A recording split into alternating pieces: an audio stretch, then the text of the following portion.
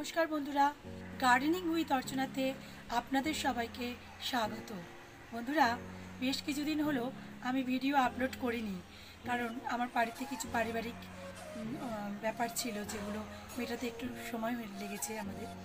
তো আমি আজ এসেছি এই উইন্টার সিজনের কিছু ইম্পর্টেন্ট গাছ নিয়ে, যেগুলো আপনারা বাড়িতে খুব সহজেই করতে পারবেন এবং যারা ওয়ার্কিং ওমেন আছেন, যারা আপনারা সময় পাচ্ছেন না, জল দিতে খুব একটা পারেন না, তাদের জন্য কয়েকটি আদর্শ গাছের ভিডিও আমি খুব শীঘ্রই আছি কিন্তু এর মধ্যে একটি গাছ আপনারা দেখতেই পাচ্ছেন, এই যে গাছগুলি, এগুলো হচ্ছে শিলোশিয়া কক্সকম্বো বলে একে। তো এই শিলোশিয়া গাছগুলো নিয়ে আজকের আমার ভিডিও তো আসুন ভিডিওটি শুরু করা যাক। আসুন তাহলে দেখে নিই এই গাছের যত্ন কীভাবে নিতে হবে। আমরা নার্সারি থেকে সাধারণত ছোট চারা গাছ কিনে নিয়ে আসি। শিলোশিয়া গাছ অনেক সুন্দর সুন্দর কালারের হয়। দেখুন বন্ধুরা, আমার কাছে এই সুন্দর সুন্দর পাঁচটি কালারের শিলোশিয়া আছে। তাকে আমরা কক্স কাম্প বলি। কোনটি কী কালার হয় তা কি দেখে চিনবেন?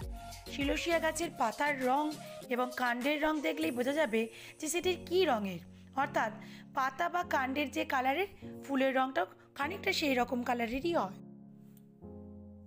নার্সারি থেকে চারা কিনে আনার পর সেই চারাটি যেন সরাসরি মাটিতে বসাবেন না।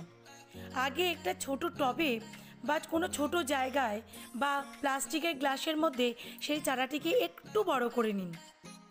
এরপর যখন পাতা ছাড়তে শুরু করবে, তখন সেই সময় গাছটিকে চূড়ান্তভাবে প্রতিস্থাপন করবার সময় আপনি ধরে নেবেন। এবার আসি মাটি তৈরিতে। যে কোনো মাটিতেই শিলোশিয়া করা যায়। তবে বেলে মাটির সঙ্গে ভার্মিকম্পোস্ট বা ডিকম্পোস্ট করা গোবর সার এবং একটুখানি হাড় গুঁড়ো আর একটুখানি শিংকুচি মিশিয়ে মাটি প্রস্তুত করে তাতে চারা গাছটি বসান। গাছের চারাটি বড় টবে প্রতিস্থাপনের পর খুব ভালো করে জল দিন।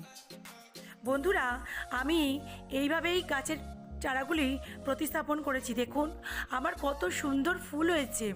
শিলোশিয়া গাছ বাড়ির ছাদে আপনি প্রতিস্থাপন করলে দেখবেন কালারে কালারে আপনার বাগানটি ভরে গেছে।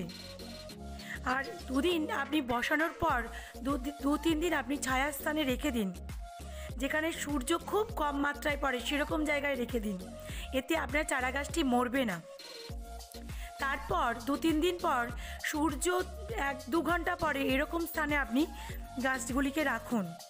এতে আপনার একটা চারা গাছও মরবে না। শিলসিয়া গাছ খুব সূর্যালোক পছন্দ করে। তবে যাদের বাগানে খুব একটা রোদ পড়ে না বা যাদের ব্যালকনিতে অল্প একটু রোদ আসে, তারাও শিলসিয়া গাছ করতে পারবেন।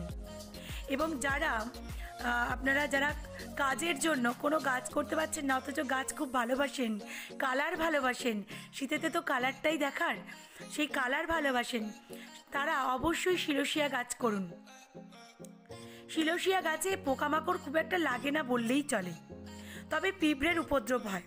এর জন্য আপনারা নিমখোল মাটির সঙ্গে মিশিয়ে দিতে পারেন বন্ধুরা। যে সময় আপনি মাটি প্রস্তুত করছেন, সেই সময় আপনি এক মুঠো নিমখোল দিয়ে দিতে পারেন। বা আপনার হাতের হাতের কাছে যখন সেই সময় নিমখোল না থাকে, আপনি পরবর্তীকালে নিমখোল আপনি মাটির মধ্যে কিছুটা মিশিয়ে দিন। এতে আপনার গাছটিতে পোকামাকড় লাগবার চান্স খুব কম।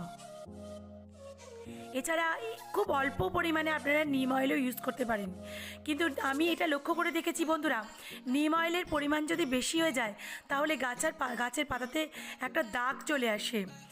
সেই জন্য আপনারা খুব অল্প পরিমাণে নিম অয়েল পনেরো দিন অন্তরে ইউজ করতে পারেন।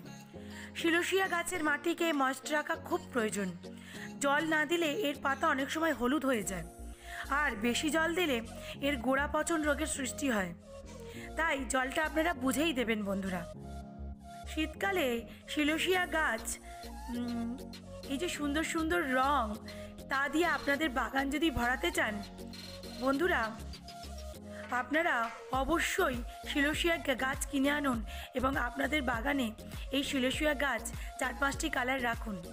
আর দেখুন, পতঙ্গরা আকৃষ্ট হয়ে আপনাদের বাগানে ছুটে আসছে। শীতকাল শিলসিয়া গাছের সুন্দর সুন্দর রং দিয়ে ভরিয়ে তোলার সময়। আপনাদের ছাদ বাগানগুলিও শিলসিয়া বিভিন্ন ধরনের ফুলের গাছ দিয়ে ভরিয়ে তুলুন। এই আশা নিয়ে আমার এই ছোট্ট ভিডিওটি এখানেই শেষ করছি। আর যদি কিছু জানার থাকে বন্ধুরা, তাহলে প্লিজ আমাকে অবশ্যই কমেন্ট করবেন। এবং ভালো থাকবেন, সুস্থ থাকবেন। বাই!